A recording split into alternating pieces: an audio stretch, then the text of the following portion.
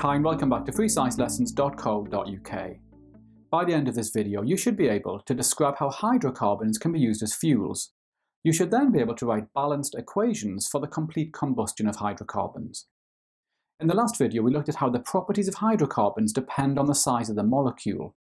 We saw that short-chain hydrocarbons are highly flammable and they have low boiling points. As the hydrocarbon molecules get larger, they become less flammable and the boiling point increases.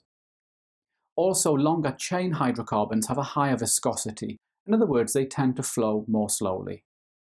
Now, in this video, we're looking at how hydrocarbons can be used as fuels, and I'm showing you some examples here. Ships, planes, and cars all run on hydrocarbon fuels, and there are lots of other cases where hydrocarbons are used as fuels. Here's the first key fact that you need to learn.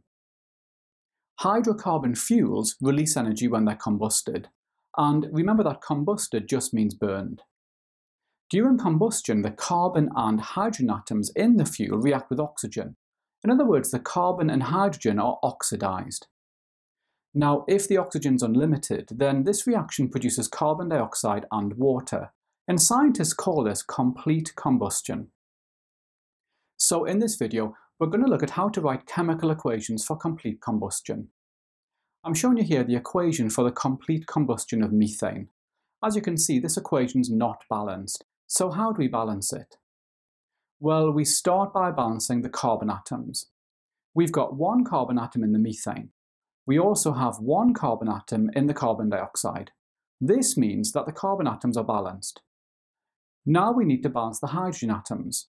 We've got four hydrogen atoms in the methane, but there are only two hydrogen atoms in the water. So the hydrogen atoms are not balanced. We need to get four hydrogen atoms on the right-hand side.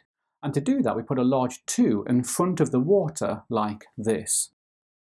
Now we have four hydrogen atoms, and the hydrogen's balanced. Finally, we need to balance the oxygen atoms. On the right-hand side, we've got two atoms of oxygen in the carbon dioxide. We've also got two atoms of oxygen in the water. So that means that we've got four atoms of oxygen in total on the right-hand side. On the left-hand side, we've got two atoms of oxygen. So as you can see, the oxygen atoms are not balanced. We need to get four oxygen atoms on the left-hand side, and to do that we place a large 2 in front of the O2 like this. And now the equation is fully balanced. Here's a combustion equation for you to try. Pause the video now and balance this equation. Okay, so we start by balancing the carbon atoms. On the left-hand side, we've got three carbon atoms, and on the right-hand side, we've got one carbon atom. So we need to get three carbon atoms on the right-hand side, and to do that, we place a large 3 in front of the CO2 like this. We now have three carbon atoms on the right-hand side, so the carbon atoms are balanced.